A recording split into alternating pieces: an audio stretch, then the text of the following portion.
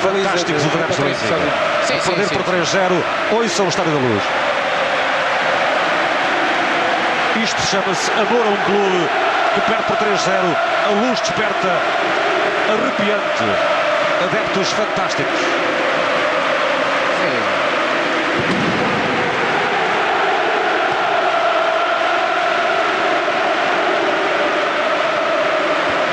A nota dominante neste momento, quando a equipa está a adormecer, os adeptos tentam puxar por ela. E agora é Raul na área. Raul ainda tenta o remate, corta. A bola para Samaris. Samaris remata de longe. Bola para fora.